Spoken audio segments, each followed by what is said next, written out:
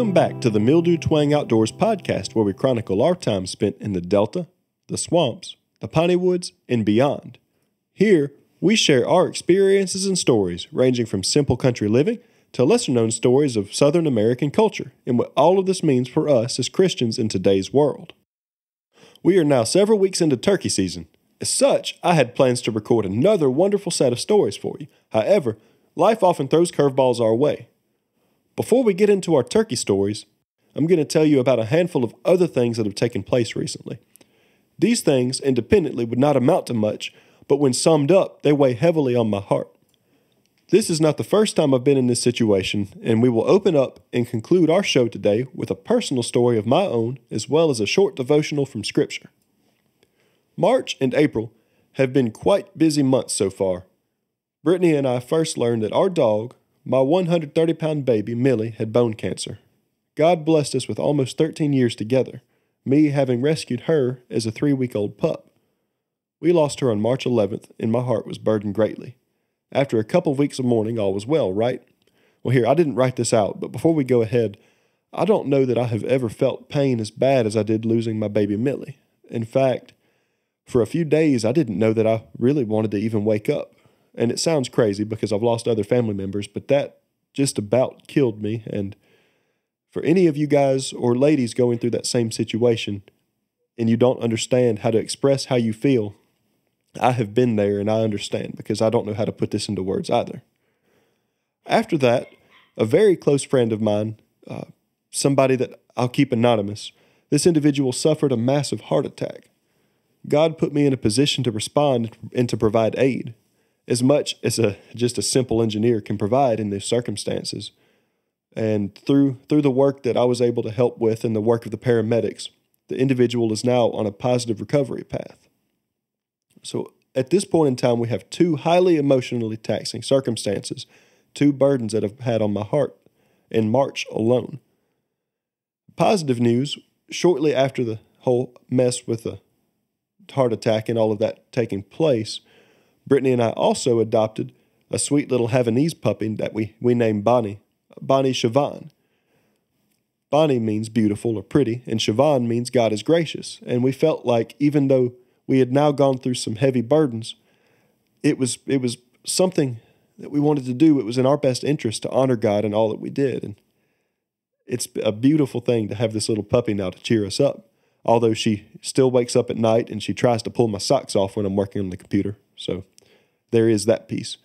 So, after all of that, come to find out this week our water heater is now broken, and I'll be installing a new one later this week after a work trip.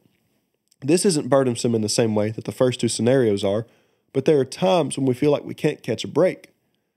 Pastor Tim Mims from East Pointe Baptist Church, who you heard a few episodes ago, talks about seasons of life, and right now, Brittany and I are in a season of testing. All of this is great, and I'm sharing these things not for you to feel pity on us, but to highlight how I have remained positive through these times. I'm not sure if Brittany has gone through the same experiences, but from my perspective, this is what I would be sharing. Uh, most important question of all is how does this relate to turkey hunting, Jay? Sit tight, buckle your seatbelts, and hang on because our plane is about to take off.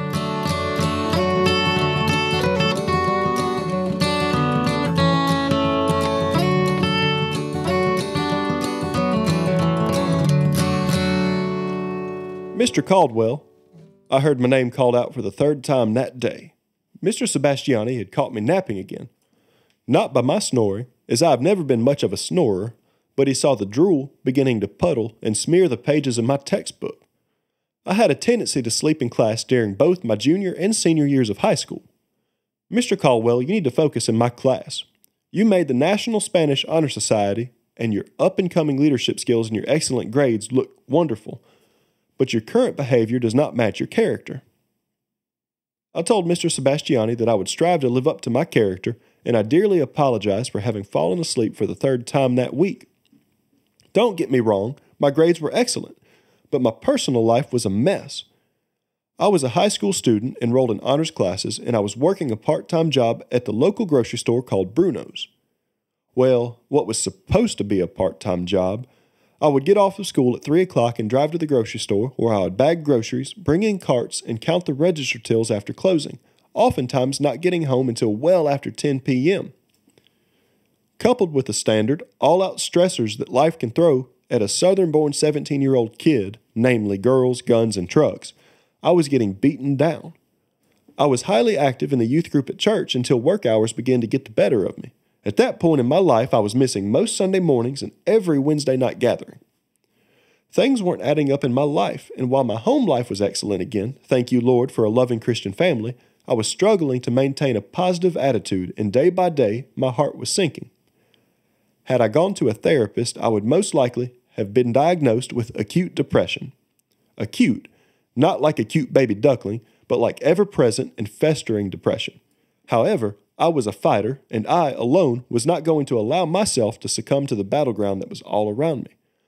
I was strong enough to overcome a wee bit of depression, right? A few weeks later, nothing had changed, and I was unable to fight the good fight anymore that I told myself I would. I was still away from home from 6:30 a.m. to 10 p.m. with school and work, eh, working most every weekend, both Saturday and Sunday. So much for a rest break. It's funny how we all think that we can overcome our struggles without help. This story is the beginning of a change in my life that has continued to be refined to this day. Back in Spanish class after a month or so, after Mr. Sebastiani's last attempt to talk with me, I caught myself falling asleep in class again. Lucky for me, by that time I had perfected the art of sleeping upright, head poised like I was reading the textbook. Before this story, I asked you to fasten your seatbelts on our airplane and there was a specific reason why. So hopefully you have your seatbelts on because it's about to get wild. I drifted off to sleep for what felt like hours, and this was my experience. I was in an airliner high above the earth. I could look down from a small round window located just behind the left wing on the plane and see the land stretched out well beyond the horizon. The flight was going very well with no hiccups and no turbulence, and I was ecstatic to get where I was going though in hindsight, in my dream, I did not know my destination. I also don't know if we got those little peanuts and, and pretzel crackers that they usually hand out, but such is the way of the world, right? As we passed through clouds and the windows fogged up, becoming misty and soaked with drops of water, I leaned back in the seat, legs stretched out, fully relaxed. All of a sudden, the plane began to descend rapidly, the nose dropping down well below the horizon, aiming straight towards the ground, our speed increasing every passing second. Everything in my body started to scream as my stomach felt like it was topsy turvy. But what could I do? I was only a passenger along for the ride. And now that ride would be cut immensely short when we splatted on the ground. In my terror filled stupor, I eased forward and opened the cockpit door only to find both the pilot and the co pilot seats empty. Oh man, oh man, oh man, what are we going to do? The air around me began to fill with a bright light, a light so white and so pure that it was as if all of existence was blotted out in a second. No, we hadn't crashed yet, but that was my first thought. But I was no longer concerned about that issue. A voice spoke out and said, Do not worry. I have control, and you will be all right. I thought to myself, what in the world is going on? There has to be an explanation for this. And the voice repeated again Do not worry, because I am in control. Just as fast as that dream began, it ended. I woke up, glanced at the clock, and saw that the entire dream had taken place in less than a few minutes. In fact, the class was still reading the same paragraph in the same textbook that we were reading when I fell asleep. From that point on, I felt a deep resolve in my soul, knowing that the pressure I was putting on myself to fight the problems that I was facing was all for nothing. I could not change my circumstances and I could not overcome my stress and my mental state by myself. However, the Creator of the universe, Lord God Almighty, is in control. He let me know that despite the pressures and the struggles that I was dealing with, He is always beside me, steering me where I need to go. This story is true, as unbelievable as you might think it is, and shortly afterward I wrote it down in the cover of my Bible as a reminder that when the going gets tough, I am not alone. There are many times in life that we struggle to push forward given the weight of our current situation. Sometimes all we need is a loving hand to hold, somebody to just sit there and be with us. Other times we need to talk to somebody and have them walk alongside us so that we know that we aren't alone and that somebody else can pick us up. In today's main story, you will tag along on a unique turkey hunt. You see, I tend to get into situations that may be more challenging than intended. And if you know me personally, you know this is not a false statement, and I am well aware of what I've put some of you through over the years, but I love you all dearly. I'm not one to turn down a challenge, especially when it comes to the outdoors. For better or worse, this turkey hunt became a personal burden that Dad and I were apt to succeed in.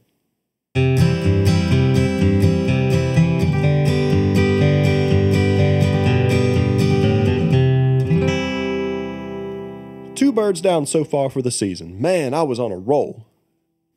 This story is about my third turkey killed. Why not start with the first?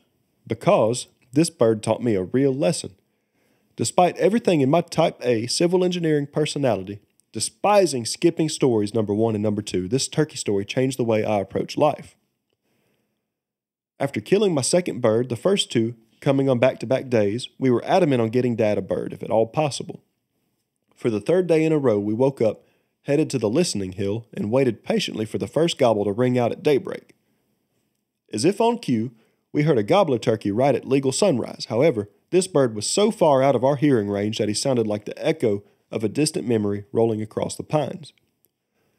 Was that a gobbler or just the wind? I asked Dad and Turkey Joe.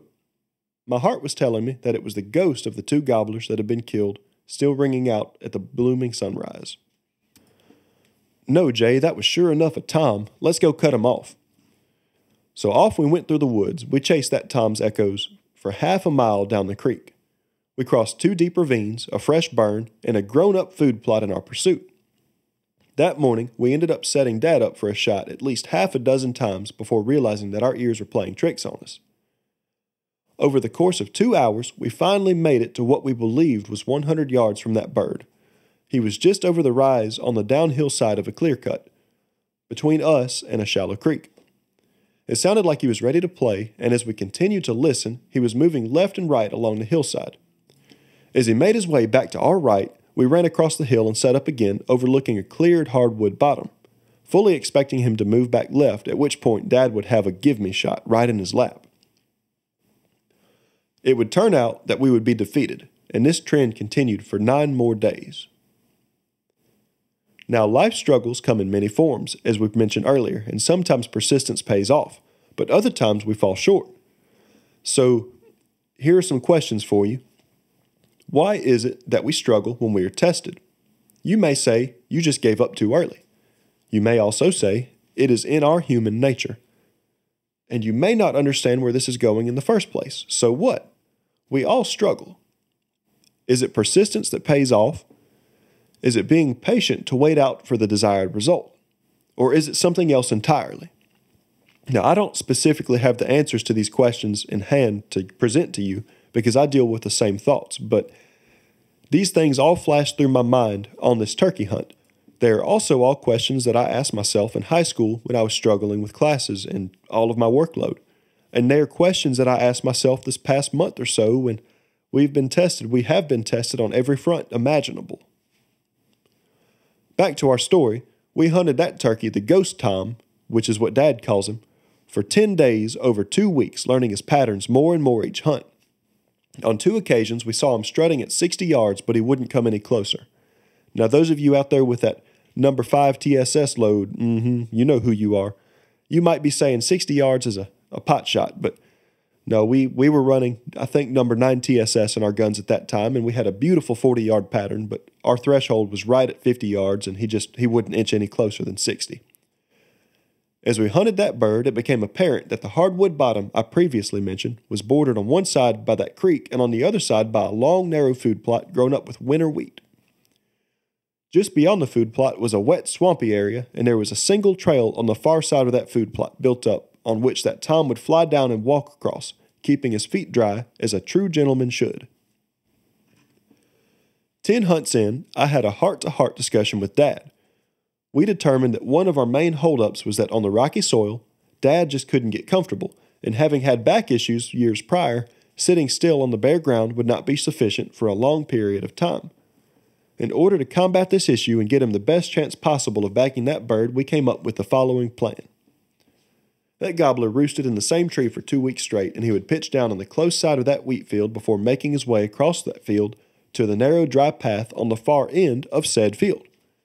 His tree was located on a three way border where the creek met up with a hardwood bottom and a mature stand of longleaf pines. He repeated this habit for two weeks straight, and our initial error was that instead of cutting him off, we waited until after fly down and then proceeded to try and coax him back towards us. It can be a major challenge to call a bird away from his daily ritual, and so we obtained a small ground blind with a built in comfortable folding chair. Our five step plan was laid out as follows Arrive at the property one and a half hours before daylight. Walk to the field in the black dark silently with no light whatsoever. This is easier said than done, given the rolling terrain, the vegetation, and the swampy bottoms and it just so happens to be that springtime is the time when rattlesnakes and copperheads and water moccasins like to come out and play, and in the pitch dark, it's hard to see what might be in front of you. We would set up the ground blind just inside the wood line on the field edge and sit Dad in the blind so when the bird flew down, he would pass Dad right at 25 yards. I would be set up 20 yards behind Dad in a yaupon thicket, set up as a natural ground blind, and call if I needed to. Then we just shoot the turkey, right? Easy peasy. Steps 1 through 4 went off without a hitch, and I had a clear line of sight to the field edge as well as to the edge of the pine hardwood interface. Now all we had to do was wait. After 45 minutes of sitting in the black dark, daylight just began to break over the tree line when a murder of crows flew overhead, cawing loudly.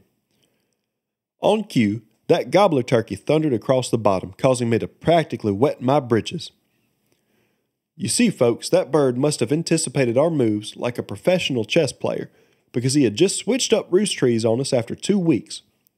Instead of roosting 100 yards from us, he was now only 30 yards from Dad and just over 40 yards from me, positioned in a triangle with all of us, almost like a Mexican standoff from The Good, the Bad, and the Ugly in the Dollars trilogy, which Brittany thinks is a comedy and not a true Western. He thundered off a half dozen times before it became apparent that whoever made the first move was sure to lose the fight. I struggled with all of my might to keep from moving, but after a few minutes I had to ease my eyes upwards to see if he was as close as he sounded. Sure enough, he was, and he was strutting right there on the limb. I could see him plain as day easing back and forth, and he could see me, obviously, if I as so much as twitched my pinky, so I remained as still as a statue, Dad, on the other hand, was not privy to the show, as his miniature ground blind only had one window on the front. He was closer to the bird, but he could have been dancing an Irish jig in that little hut for all I knew. Likewise, the bird could not see him either. Even though our plan had been modified by our target bird, we were still wholly optimistic because he was directly above his standard landing pad. After some time, the clouds dissipated and we were in full daylight when, with no warning, that gobbler turkey decided to pitch down. I heard his wing beats as he flew towards the ground, and it sounded like a fully loaded Chinook helicopter bearing down on us. He glided down from my left to right, right down the center of the path leading to that wheat field. I looked deep into his eyes as he passed by, and he was so close that I could have counted the barring on his wings had I been able to freeze time. Just as he was about to touch down, he proceeded to take on the personality of a strafing A 10 warthog as he pulled up at less than five feet from the ground, flew past his landing zone, and pulled back up, landing in a longleaf pine 75 yards from the field edge. I knew deep down that something must have gone terribly wrong. I also believed fully in my heart that upon hearing him pitch down, Dad had instinctively brought his shotgun up to his shoulder, anticipating that bird landing right where we expected. My belief would later be proven wrong, but I thought Dad had scared him off with his movement. What caused that gobbler to change his roost tree and then to pitch down and pull back up, I may never know, but it is a sight that I will never forget. Now, our plan was long gone, and the bird was in the upper limbs of a mature longleaf pine, silent as ever. Even though every redneck gene in my body was itching to call to him to try to get a response, I fought the urge, and Dad and I remained frozen in place. Seconds seemed like minutes, and minutes like hours as that bird sat motionless on the limb. After what seemed like two hours, but probably amounted to less than five minutes, another murder of crows flew by overhead. The lead crow took a liking to the same pine that that gobbler turkey was in. After lighting in the tree and being followed by his counterparts, the lead crow began cawing aggressively. Now, did you know a crow could call aggressively? Well, that turkey didn't either, but he sure enough learned because Soon enough, that turkey thundered out the biggest gobble I've ever heard in my life. I've never heard a gobble quite that voluminous, and I doubt that I ever will again. I mean, the whole earth was shaking. The crows quickly flew off, but that gobbler, having been distracted by the crows, hammered out a second time, turning away from us on the limb. At that point in time, I eased out a green slate call made by John Sinclair, the turkey whisperer himself, and I clucked twice and purred softly he hammered out, answering immediately. Once again, we thought, game on, and all was well, him answering my soft cluck several times before he decided to pitch down again. As a quick sidebar, I am not sponsored by John Sinclair or anybody else at this time, but his calls are incredible. I have three of his, his little slate calls, pot calls in my bag, and I would highly recommend that you take a look at some of his stuff, specifically his tungsten surface call I won't give you any more details. You can discover for yourself, but he makes some incredible pieces. His website will be linked in the show description. Now, that turkey pitched down, and pitched down he did directly away from us. What in the world? For the second time that morning, I assumed that our cover was blown. But what were we to do now? I crawled slowly to Dad, asking him how things played out from his perspective. After packing up the ground blind quietly, we decided that I would crawl to the field edge and call with a diaphragm just loud enough to echo across that field. Lo and behold, no bird and no response. I eased back to Dad and we grabbed our gear, but I'm tenacious and nothing that morning sat well with me. Something seemed wrong, so I decided to ease back to the base of the hill behind us and we called one more time. I called again on that green slate with no response, I then yelped a sequence of aggressive cackly yelps on my diaphragm, as loud and as raspy as I've ever yelped. And then the faintest echo of a gobble rang out just past the food plot. Did you hear that, Dad? Did he answer, or was that just a coincidence?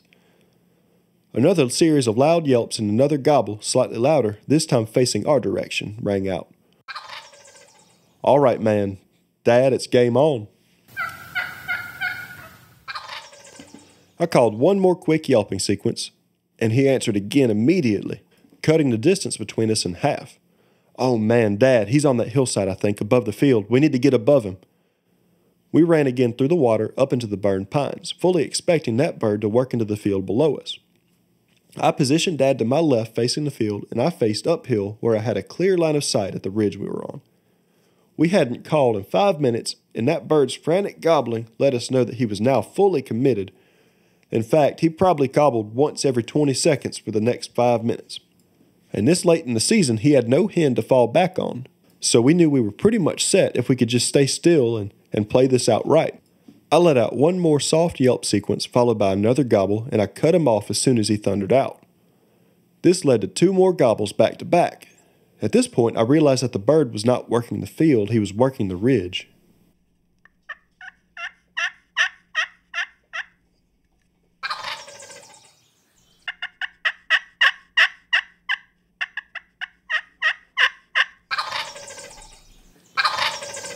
Dad, you have 10 seconds to ease up here and take my place. He'll be in front of you in less than a minute. Now, Papa Nichols claims that he believed the bird was working the field, but I fully believe in my heart that he was sacrificing his opportunity to let me shoot. He's the most loving, most sacrificial, and most selfless man I know.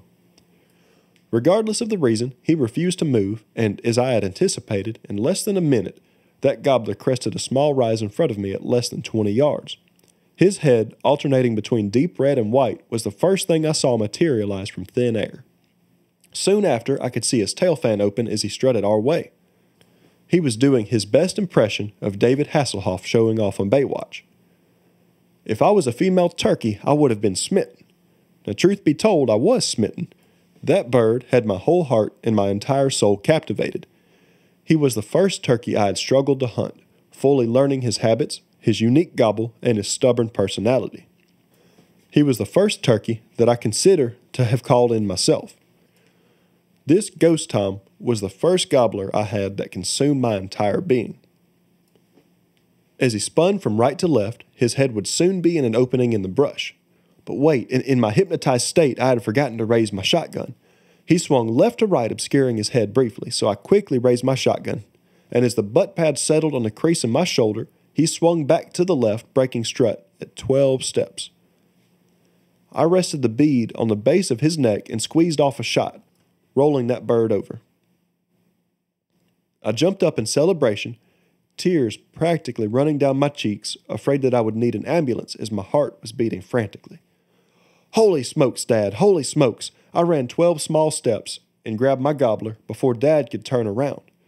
In shock, he couldn't believe that the bird was so close to us. Without a doubt, the Lord Almighty allowed us to be successful during that hunt, and it's a hunt that I will never forget.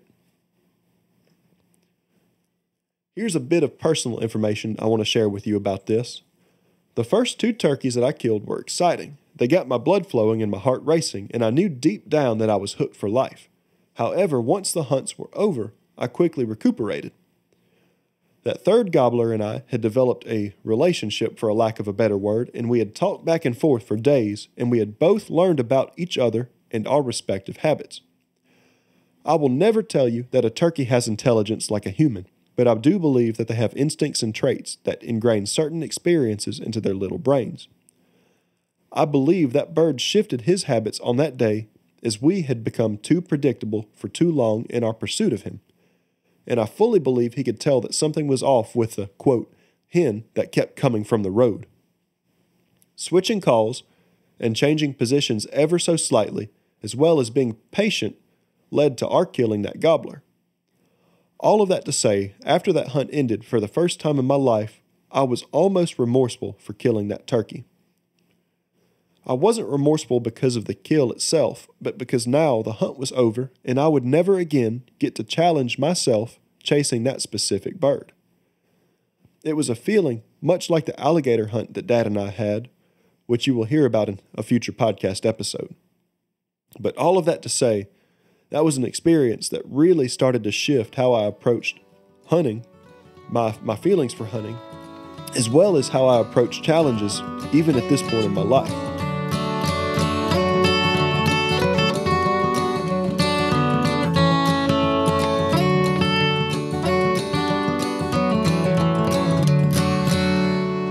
The Lord our God is a loving God who will never leave or forsake his people from the time of creation to the exodus of the Jewish people from Egypt, to the availability of salvation for all of mankind through the death, the burial, and the resurrection of Jesus Christ, God has been with us. Psalms chapter 9, verses 9 through 10 say, The Lord is a shelter for the oppressed, a refuge in times of trouble. Those who know your name trust in you, for you, O Lord, do not abandon those who search for you. John chapter 16, verse 33 says, I have told you all this so that you may have peace in me. Here on earth you will have many trials and sorrows, but take heart, because I have overcome the world. Philippians chapter 4, verses 6 through 7 say, Don't worry about anything, instead, pray about everything. Tell God what you need and thank Him for all He has done. Then you will experience God's peace, which exceeds anything that we can understand. His peace will guard your hearts and minds as you live in Christ Jesus. These verses are just a select few from the hundreds of passages in the Bible discussing God's love for his people. They highlight briefly the ultimate struggle that we have on earth as humans. We live in a broken and fallen world. We all sin and we all fall short of the glory of God as pro- proven by Romans 3:23. But what does this mean in our world today? Our mighty God promises deliverance and salvation through the gospel, the good news the good news specifically stated in John 3:16, for God so loved the world that he sent his only begotten son that whoever believes in him shall not perish but have everlasting life. One of the greatest struggles for our society today and for me specifically is the fact that there doesn't seem to be justice in the world. Many times, whether because of the struggles of work, school, broken friendships, poor decision making, or some other means, we feel that we're stuck in a place that we will never be able to get out of. Lucky for us, there's a solution. God promises in His Word that He will never abandon us. He promises to provide shelter in the storm, and in Matthew chapter 6, verses 26 through 30, he states the following Look at the birds of the air. They do not sow or reap or store away in barns, and yet your heavenly Father feeds them. Are you not much more valuable than they? Can any one of you, by worrying, add a single hour to your life? And why do you worry about clothes? See how the flowers of the field grow? They do not labor or spin, yet I tell you that not even Solomon in all his splendor was dressed like one of these. If that's how God clothes the grass of the field, which is here today and tomorrow is thrown into the fire, will he not much more clothe you, you of little faith? If you're lost and you do not know where to turn, or you're in a situation that you feel that you are unable to overcome, God promises to provide feel free to shoot me a message so I can pray for you through your struggles. And if you would like more information on our loving God and His plan for your salvation, I'm more than happy to talk with you through your questions or get you in contact with somebody else who can. As I mentioned in the beginning of this episode, this past month has really put me in a, a bit of a hard place. And while I can come on here and tell you guys all of the wonderful stories that we have, and I can share these scriptures with you, sometimes it's hard to believe this on my own. And I have wonderful people in my life, some of who you have heard on this show, that keep me accountable and allow me to talk with them when I can't face a situation alone. Remember that above all else, God is here. He loves you, He died for you, and He will never leave or forsake you. I sure hope that you've enjoyed this week's episode. It's been a little bit different than some of the episodes we've had in the past, but such is, again, such is the way of the world. And truthfully, I don't like to do the same thing all the time anyway. And I'm still getting the hang of these podcasts. And if you have any feedback you would like to share, anything concerning the content, the length of these episodes, or just a friendly hello, I would really appreciate you reaching out to me. You can reach me on Spotify or Apple Podcasts, Instagram, Facebook, or really any other means. And I, any feedback you could provide would be great. You're not going to hurt my feelings either way. This is a fun project, and it's something that I would like to continue just to see how this moves forward and to develop new skills. Love in Christ.